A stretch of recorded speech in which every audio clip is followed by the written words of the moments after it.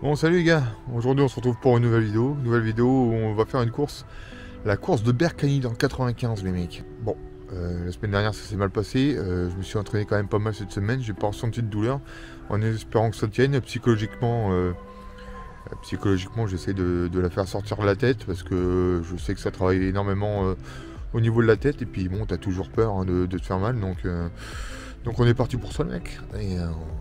J'espère, euh, bah, entre toi et moi, j'espère, euh, pourra pas être pas mal. C'est le début de saison pour moi, euh, même si j'en ai fait une à Rémi en cours, que tu peux voir encore sur la chaîne. Je vais te mettre le lien là ou là, tu peux aller constater avec, avec pas mal de choses dans cette course, donc tu peux aller voir. Donc c'était la première course de la saison où j'étais pas mal.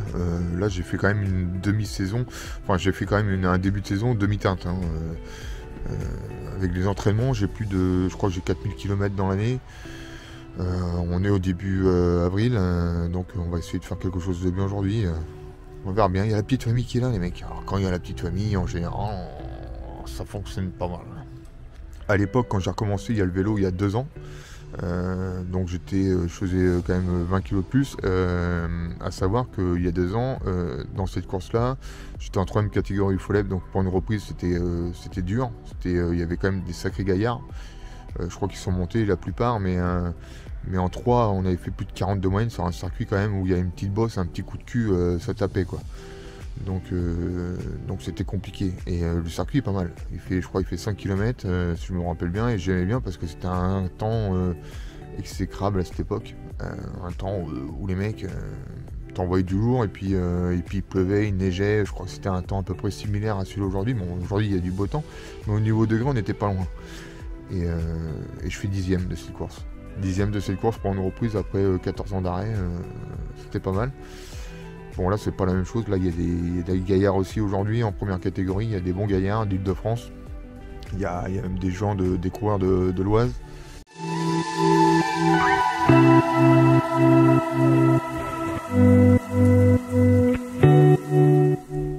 Salut à tous, on se retrouve aujourd'hui pour la course de Berkani dans le 95, comme je te l'ai dit dans l'introduction de la vidéo.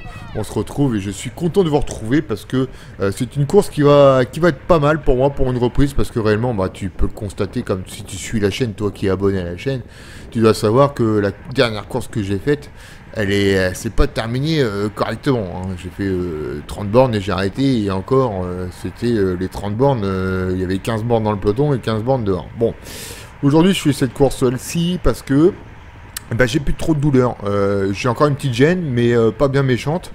Et euh, je me dis, bah tente là parce que, parce que ça n'empêche rien de tenter. T'as moins mal que les autres jours. T'as une petite gêne, mais elle est pas non plus, elle n'est pas non plus très très douloureuse. C'est une gêne comme si t'avais les ischios un peu en feu, mais rien de méchant. Donc je me dis, Vas-y mon Juju, fonce, euh, fais la Berkani, ça coûte du temps en plus, c'est même pas euh, une demi-heure de la maison, entre 30 et 40 minutes euh, de chez moi. comme je te l'ai dit, il y a deux ans, je l'ai faite quand j'ai repris le vélo, donc j'ai fait dixième, donc c'est une, course que j'adhère. Donc le circuit, tu peux le voir en haut à gauche, à savoir que cette portion-ci que tu peux voir sur le petit graphisme en haut à gauche, j'ai vraiment le, vent de face. Là, je suis vraiment portion vent de face. C'est la seule portion euh, dans le circuit qui a le vent de face, parce qu'après, ce sera que euh, le vent de côté, sur les deux grandes portions de... Tu vois les deux plus grandes portions, ça sera vraiment vent de gauche et vent de droite, hein, vu qu'on passe des deux côtés. Et euh, le vent de dos, bah, tu vois, c'est où il y a la petite épingle à l'opposé de, cette courbe. Et bah voilà, c'est le seul endroit où on aura un petit peu de vent de dos, mais malheureusement c'est pas favorable pour voilà, c'est une petite montée donc bof, le vent de dos pas top top. Euh, petite route, tu peux voir que c'est des petites routes assez euh, sympathiques. Euh, bon, un peu boueuse à gauche, donc il fallait pas trop se, se, mettre à gauche. Et puis, bah, tu vois que ça roule doucement, ça part doucement. Alors ça, moi, ça me va bien. Parce que je j'aime pas trop les départs rapides. Et puis, je suis un peu un diesel. et j'aime bien quand ça part doucement, le cœur monte. Bon, je suis à 153 puces, bon, je suis pas mal. 310 watts, ça commence, je suis pas mal non plus. c'est top. Donc euh, juste petit euh, récapitulatif aussi qu'il faut souligner, c'est que pour les nouveaux qui arrivent, en haut-dessus, euh, à droite, tu as bien sûr les degrés, tu as le dénivelé. Donc le degré, petit problème, hein. il n'y a pas 17 degrés ce jour-ci, il y a bien sûr 7 degrés, hein. tu retires 10 degrés. donc ça a dû prendre la température de la chambre. Mais pas la température qu'il y avait ce jour-ci. Donc moi je suis en long, jambière, euh, manchette, double couche au niveau du torse. Enfin voilà, moi j'ai vraiment froid quoi. Donc les copains, euh, bon les collègues là que tu vois devant moi euh, et même derrière, bon eux sont en cours là, pour la plupart. Moi je suis jambière, vraiment je suis en hiver. Je te mettrai une photo si tu veux à la fin. Et puis bah voilà on est parti pour, pour un calvaire. Donc 7 degrés, J'aime pas le froid du tout, euh, donc euh, voilà, moi je suis là pour me refaire un peu la cerise et puis pour me dire, eh ben, euh, pour me relancer vraiment la saison, parce que la saison, à part Rémi en cours où je suis tombé avec Monsieur Desmar, le reste, bah voilà, c'est pas non plus une bonne, une bonne saison, enfin un bon début de saison qui démarre. Donc pour moi, c'est pour me remettre en confiance un petit peu. deux coureurs sont partis devant, dont Mathieu de Vernon que j'ai fait part plusieurs fois sur les vidéos.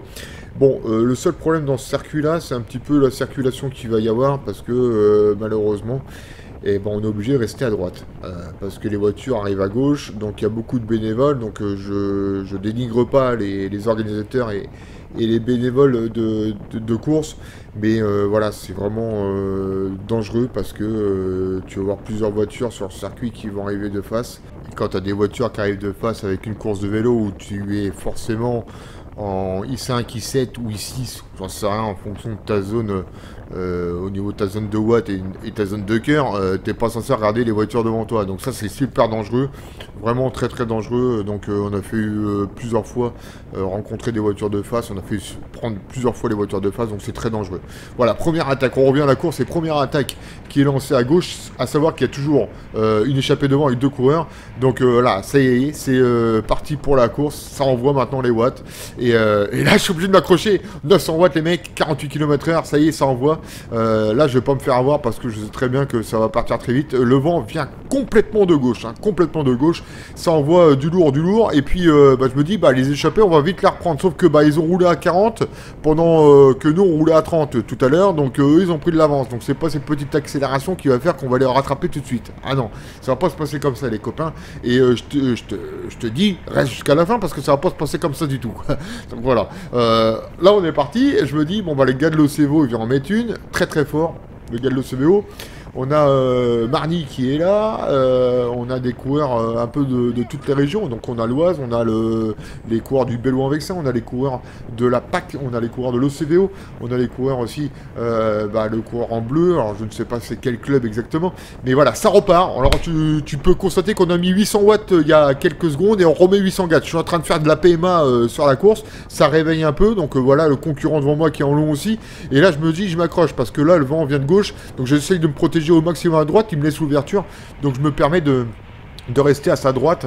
Et euh, voilà, alors là, Joe, vous l'avez vu, Joe aurait mis en cours, et ben il est là encore Joe avec euh, Sullivan euh, de mes rues aussi, les deux coureurs en fluorescent, donc en jaune fluo, donc voilà, jaune et vert fluo.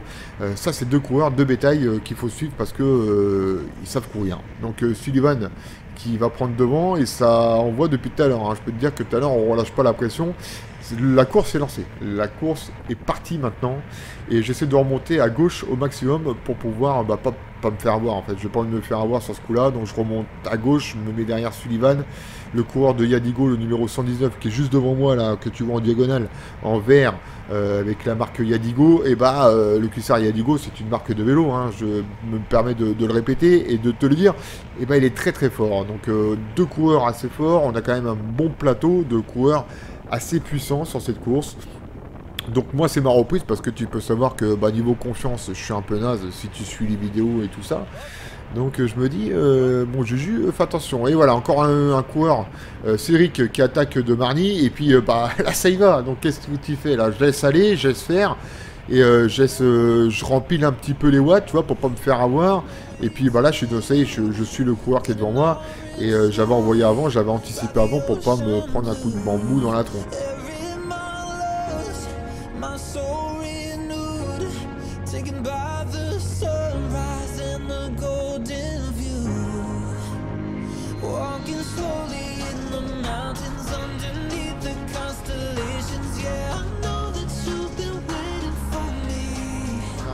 Dans la particularité de ce parcours où on va vraiment choper euh, la petite bosse. Donc on va y arriver dans quelques instants avant une attaque qui va arriver à gauche de Joe qui va en mettre une juste avant la montée parce qu'on va arriver dans un virage où il est vraiment dangereux. C'est un virage euh, en S, un peu.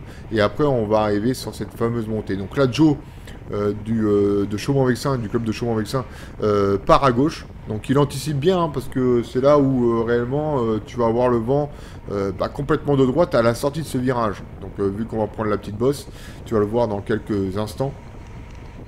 Le virage arrive d'ici peu de temps, tu vois. Premier virage à droite, courbe. Et deuxième virage à gauche, où il fallait faire attention parce que tu vois, c'est un peu euh, gadouilleux, on peut dire ça comme ça. Et autre virage à droite. Alors là, on est dans le Paris-Roubaix euh, du Val d'Oise. Hein.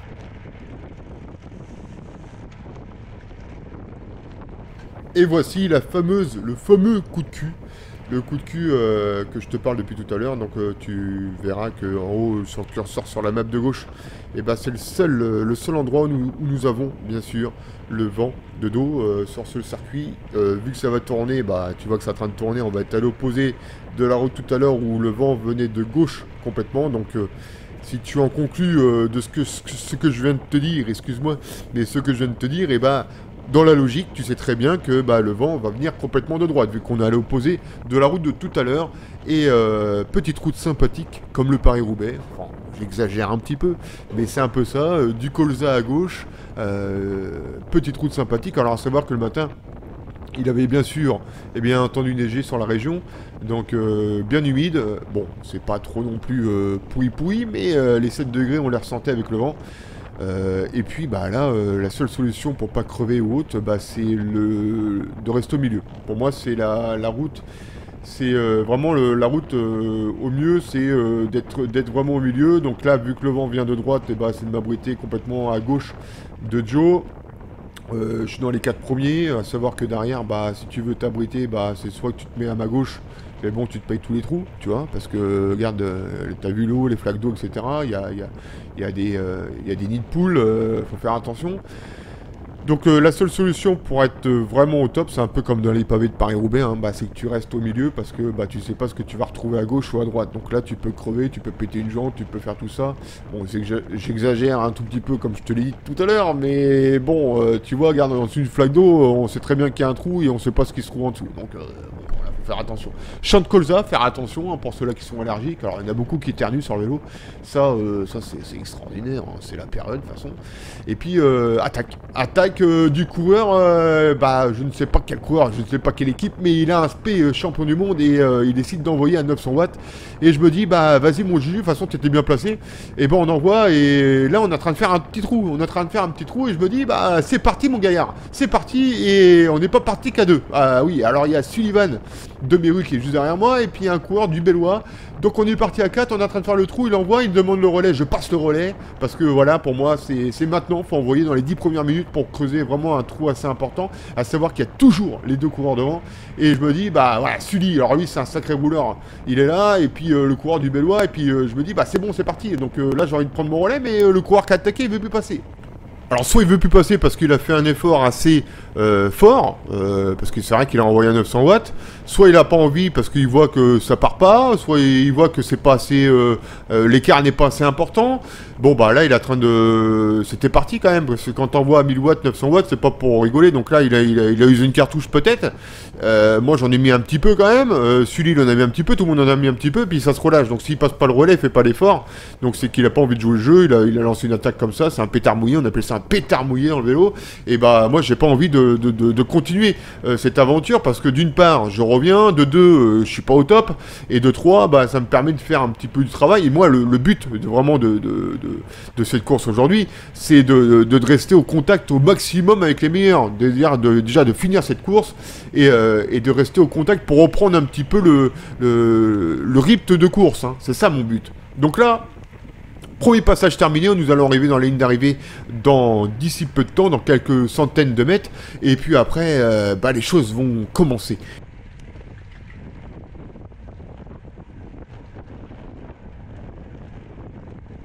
Donc je te laisse parce que là on a fini le, premier tour du circuit. Tu as vu euh, euh, les, difficultés du circuit avec le vent, etc. Donc premier passage terminé. On va avancer un petit peu dans cette course pour arriver dans des euh, endroits un peu plus sympathiques où il y a un peu de, mouvement de course. Et là, on est parti parce que euh, voilà, là, je suis en, chasse patate avec, euh, je crois, le peloton derrière, mais je me dis, bah, je suis tout seul parce que les autres veulent pas rouler.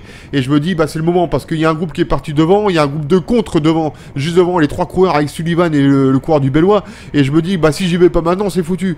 Donc, dis-le moi dans les commentaires, je vais te laisser avec les images, un petit son musical sympathique. Et tu me dis dans les commentaires ce que tu penses de cette poursuite, les choses bien, les choses pas bien, ce que j'ai fait de bien, ce que j'ai fait de mal. A tout de suite pour la réponse.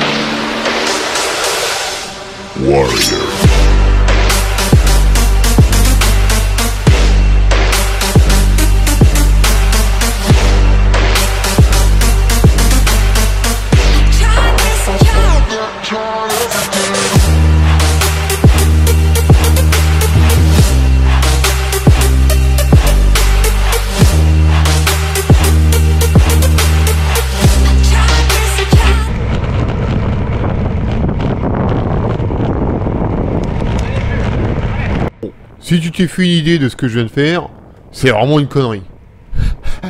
Parce que là, si t'as entendu ce que je viens de t'augmenter, je viens de t'augmenter juste le petit son de Sully qui vient de passer à côté, il me vient de me dire « Allez, Jus !» Le problème, c'est que Juju, il a fait le con. Ah ouais, Juju, il a la force. Juju, il a tout ce qu'il veut. Juju, il est revenu. Super, la chanson, ça fait hollywoodien. euh, Top, top. Bon, j'ai fait le connard. Pourquoi? Bah parce que euh, je pensais que derrière, ça allait relayer euh, tranquillement. Sauf que là, on m'a mis une mine dans la gueule. Et Juju, Juju, faut qu'il récupère. Donc Juju est dans la merde. Donc Juju vient de se prendre un tampon. Donc Juju se retrouve derrière. Voilà. Résumé de la course en deux secondes. euh, piégé. Voilà, foutu. Euh, je suis rentré trop vite sur le truc. Je pensais euh, avoir les jambes. J'ai les jambes, mais bon, bah voilà, faut que je récupère un peu parce que je viens de faire un effort quand même à une moyenne de 450 watts pendant au moins euh, 3-4 minutes. Je suis pas en condition physique euh, depuis le début. Euh, tu sais très bien tout ça. Bon, bah Juju euh, s'est senti pousser des ailes. Bon, Juju a fait le con. Voilà. Résumé de la course, on en est là. Qu'est-ce qu'il fait Juju Juju, essaye de relancer la machine. Mais Sully, il est parti, hein. Ciao Bonne route, Sully. Voilà. Belle course. Mais, mais moi, j'ai voilà, j'ai fait le gros débile, là. Donc euh, c'est bien de, faire le débile. Donc là je relance, on est dans un groupe, euh, je suis avec un peloton, parce que, enfin ce qui reste du peloton, parce qu'il n'y a, plus de peloton, il n'y a plus rien. hein. Là on est dans un groupe, je crois qu'on est une dizaine. Euh, là on court pour la, la 14e place. Voilà. Donc résultat des comptes. Bah résultat des comptes, on va essayer de faire quelque chose de bien et de finir en beauté. Donc là on se retrouve quand même avec des coureurs qui roulent. hein. Bon là on s'est fait piéger. Moi je me suis fait piéger bêtement comme un couillon. Je reviens dessus parce que ça, euh, c'est quand même con quoi. Et euh, je me retrouve piégé. Donc euh, j'ai les watts, je suis le plus fort, je, je, suis le plus fort du groupe. C'est pas pour me vanter ou quoi que ce soit, je suis le plus fort du groupe. Mais, mais, mais, bah ouais, bah ouais, bah ouais, ouais, super quoi, C'est- génial. Et bah, la seule chose qui peut arriver pour finir en beauté, c'est de gagner le sprint de, de ce petit peloton. C'est gagner le sprint de ce petit peloton parce que euh, résumé de la course, euh, là les Garennes devant, euh, c'est des gladiateurs. Hein. Ils sont pas là pour jouer de la patinette ou compter les lentilles ou compter les petits poids ou enfin tout ce que tu veux. Eux ils embrayent. Hein. Ça y est, ils ont la poignée à droite à fond. Ça y est, c'est parti, ça embraye. Hein. Bon nous ça roule à demi-teinte. Ça roule, ça passe tranquille. Donc là on sait que, enfin pour la plupart d'entre nous, on n'a pas envie d'y aller quoi. Moi j'ai envie d'y aller, mais bon, euh, certains n'ont pas envie d'y aller. Soit parce qu'ils n'ont pas envie, soit parce qu'ils n'ont pas la force, soit parce que c'est dur. Enfin, j'en sais rien, voilà. Bon, bah Julien, c'était dur tout à l'heure, bon, moi là, ça va mieux. Mais euh, voilà comment on peut perdre euh, quelque chose d'intéressant en peu de temps, les gars. Voilà. Donc une connerie à la con de gamin. euh, j'ai fait le gamin, j'ai fait le gosse. et pourtant, voilà. Mais ça arrive, c'est le vélo. Et puis, et puis, puis euh, c'est l'autodérision, hein, attention. hein. Euh, quand je fais le con, je vous le montre aussi. Donc là, j'ai fait le gros débile. Gros gros débile, Juju, euh, bravo à toi, super génial.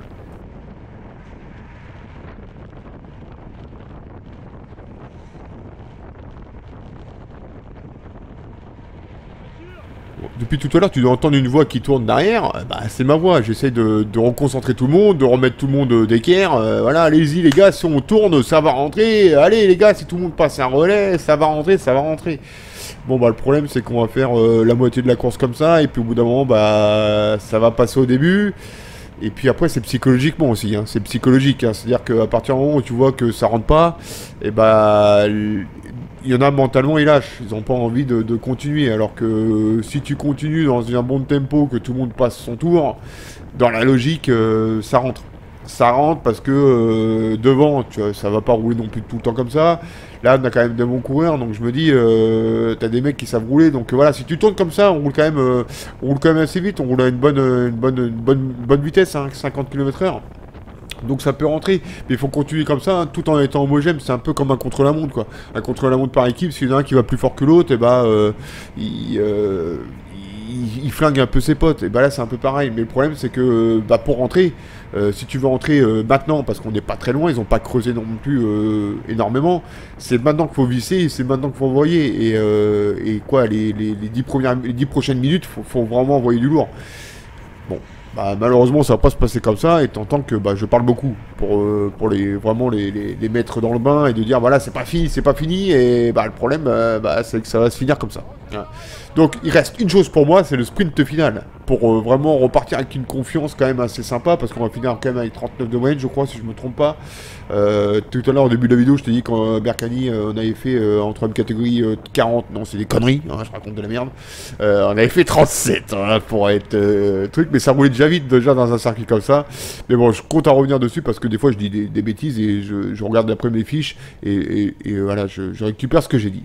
Donc euh, là, euh, prochain virage et puis on va avancer jusqu'au sprint et puis, et puis, et puis voilà les gars. Oh voilà, on se retrouve pour le sprint final. Le sprint final, bien sûr, avec une tache, une tache d'eau euh, sur la caméra. Donc euh, c'est vraiment la fin. Il reste quelques hectomètres, quelques centaines de mètres, et euh, je me retrouve derrière le coureur en bleu et rouge, et je me dis, euh, Julien, faut aller la chercher celle-là maintenant. Et là, je vois le coureur de la PAC qui passe, et je me dis, il reste quelques centaines de mètres, c'est maintenant. Je développe 1200 watts, et là, j'arrache tout, j'envoie, et je le passe, et je vois que bah voilà, que c'est fini. Il y aura personne qui, je remets un petit coup. Et euh, voilà, je viens faire 14ème de cette course, 14ème de, de Berkani. Alors je me fais avoir réellement, je me fais avoir. C'était très dangereux à l'arrivée. Euh, pour ma part, c'était très dangereux parce que voilà, les, les coureurs euh, font pas attention parce qu'il y avait une autre course après de- des troisième catégories. Et je me dis, bon bah, pour revenir à la course réellement, je me dis, bon bah voilà, c'est la saison, euh, t'as une douleur toujours, mais elle est en train de partir.